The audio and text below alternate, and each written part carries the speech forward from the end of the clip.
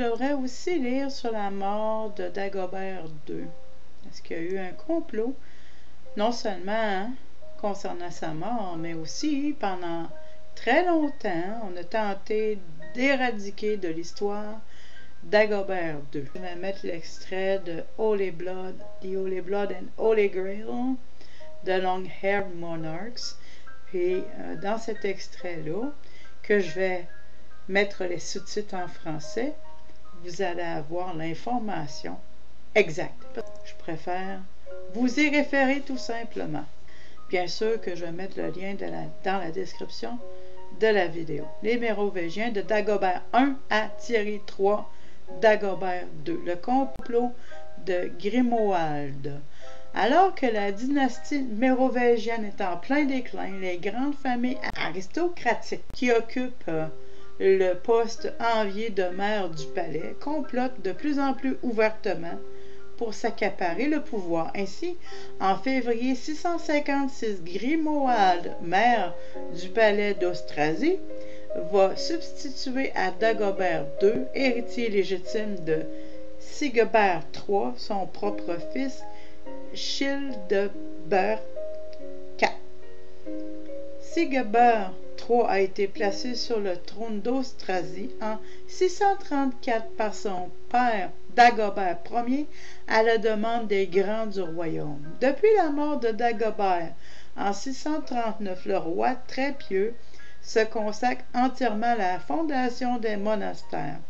En 643, l'ambitieux Grimoald a fait assassiner le maire du palais Othon. Il a pris sa place et tient solidement les rênes du pouvoir. En 651, le roi, d'Austrasie a épousé la jeune Hymneschild. Excusez-moi si je massacre son prénom. Mais cette union n'a pas porté ses fruits. Et le couple pleure les enfants qui ne sont pas venus. Profitant du désarroi et de la naïveté des, époux royaux, Grimoald va s'employer à tirer profit pour son propre compte de leur stérilité. Faisant preuve d'une audace incroyable, le maire du palais suggère à Sigebert III une manœuvre hardie qui permettra de résoudre le problème de la succession au trône. Si le roi adopte son fils, l'Austrasie ne risquera pas de tomber sous la coupe du royaume de Neustrie. En outre, Grimoald a parfaitement compris que les leudes austrasiens tiennent plus que tout à garder leur autonomie fût-ce au prix d'une adoption pour le moins contestable. En désespoir de cause, vers entre 644 et 646, Sigebert III se réjouit à cette mascarade. Il adopte le fils de Grimoald, qu'il désigne comme son seul héritier. Le jeune garçon est rebaptisé, reçoit un prénom mérovingien et devient Childeberg l'adopté.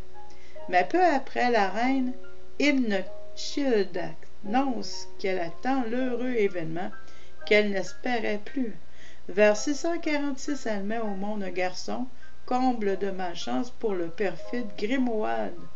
L'enfant est baptisé Dagobert en souvenir de son grand-père. Incertain quant aux dispositions à prendre, Sigebert III ordonne que les deux garçonnets soient élevés ensemble. Le maire du palais a-t-il perdu tout espoir de voir son fils coiffer la couronne d'Austrasie? Lorsque survient la mort de Sigebert Le 1er février 656, Grimoald n'a pas, pas encore désarmé. À peine le roi défunt a-t-il été porté en terre qu'il enlève le jeune Dagobert à sa mère et le fait tonsurer privant ainsi le petit prince d'une chevelure considérée par les Francs comme l'attribut principal des souverains. Le maire du palais fait ensuite exiler l'héritier légitime de Sigebert III dans un monastère irlandais où il est remis à la garde de Wilfrid, l'évêque d'Orc, qui lui prodiguera une solide éducation religieuse et humaniste.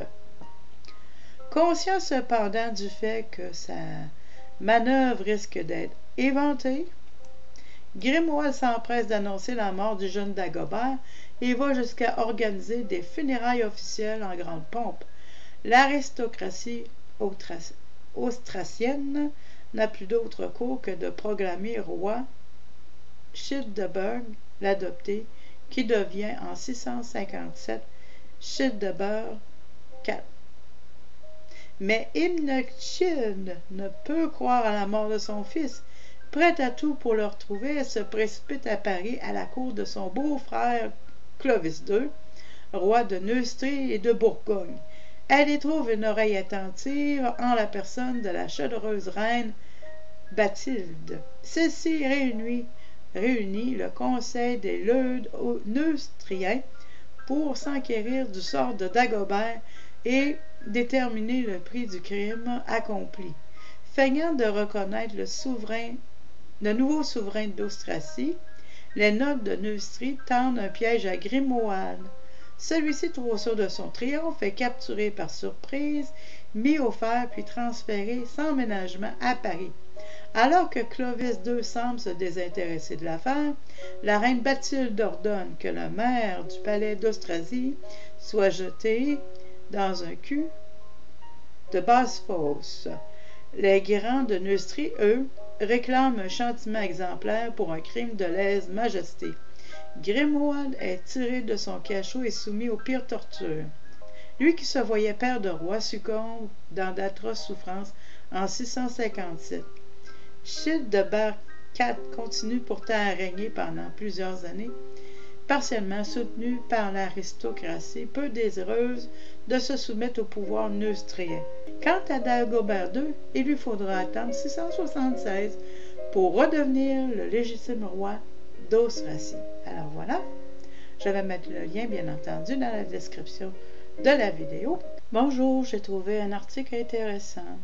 Le site c'est guyboulian.info mais c'est pas complet le lien. Je vais le mettre dans la description de la vidéo. En te remerciant de ton écoute. That Sigisbert did survive his father's murder, did adopt the family name of Plantard and, as Count of Razes, did perpetuate his father's lineage. Prince Ursus. By 886, of course, the flowering shoot of the Merovingian vine had blossomed into a large and complicated family tree. Bernard Plantavello and the Dukes of Aquitaine constitute one branch. There were other branches as well. Thus the Prior documents declare that Sigisbert IV's grandson, Sigisbert VI, was known by the name of Prince Ursus. Between 877 and 879 Prince Ursus is said to have been officially proclaimed King Ursus. Aided by two nobles Bernard d'Auvergne and the Marquis of Gothy he is said to have undertaken an insurrection against Louis II of France in an attempt to regain his rightful heritage. Independent historians confirm that such an insurrection did indeed occur between 877 and 879. These same historians refer to Bernard d'Auvergne and the Marquis of Gothy. The leader, or instigator, of the insurrection is not specifically named as Sigisbert VI. But there are references to an individual known as Prince Ursus. Moreover, Prince Ursus is known to have been involved in a curious and elaborate ceremony in Nîmes, at which 500 assembled ecclesiastics chanted the Te Deum.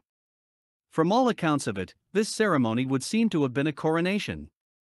It may well have been the coronation to which the prior documents alluded the proclamation of Prince Ursus as king. Once again, the prior documents received independent support.